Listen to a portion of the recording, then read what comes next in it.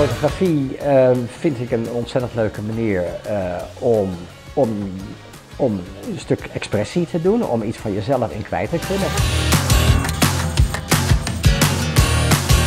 Maar het is ook een hele leuke combinatie van toch op een bepaalde manier kunstzinnig bezig zijn met de techniek die je in de fotografie uh, ook nodig hebt.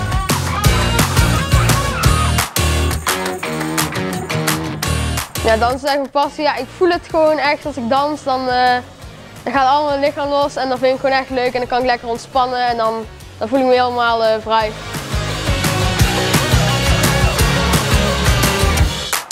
We doen drama allebei. Uh, ik heb het gekozen omdat ik zelf heel graag drama doe en ik wil er ook heel veel in leren. Naar mijn eindmusical van groep 8 dacht je van ja, dat wil ik gewoon doen.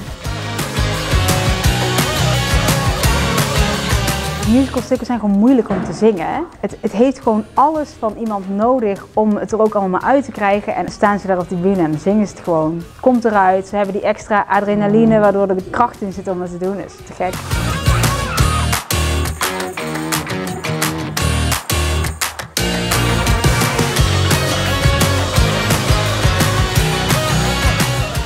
Presentaties. En ik weet niet of het nou mijn eerste jaar was of mijn tweede jaar.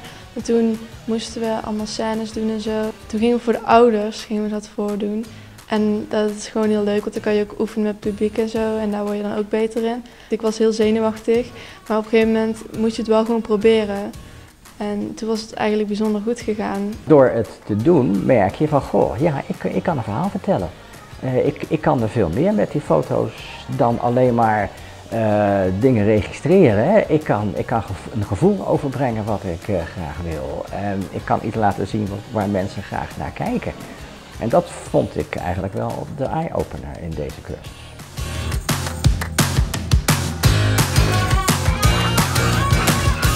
De solo's van uh, de eerstejaars, als je daar dan klaar bent, dan mag je een solo doen.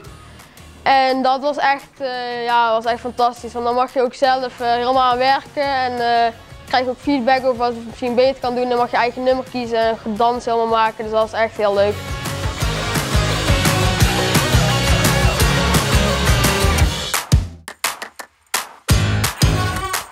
Ja, je gooit door elkaar.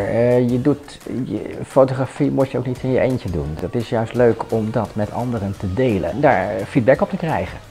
Ja, en dan ga je de volgende keer ga je dat nog weer beter doen. Dus je merkt dat je jezelf ontwikkelt.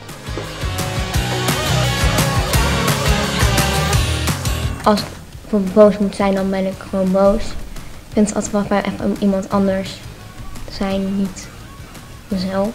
Ik denk dat we het wel altijd voor elkaar krijgen om iemand verder te krijgen. En ik geloof wel echt dat iedereen altijd uh, een stapje vooruit kan. Dat je emoties kan tonen en dan kan je ook helemaal in een andere rol kruipen. En niemand die je raar aankijkt of zo, dan kan je daar ook in kwijt. Dat is wel fijn.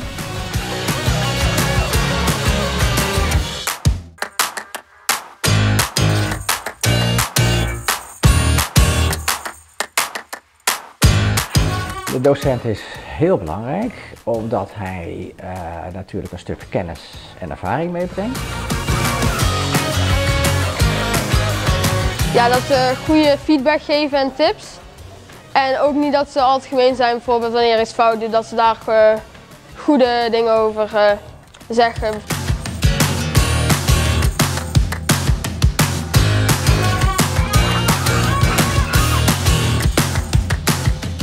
Maar uh, als ik publiek zie vind ik het wel leuk heel erg.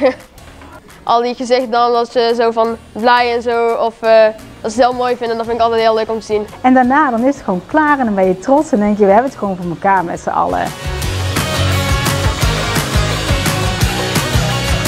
Je bent ook nooit uitgeleerd. Ik ook niet.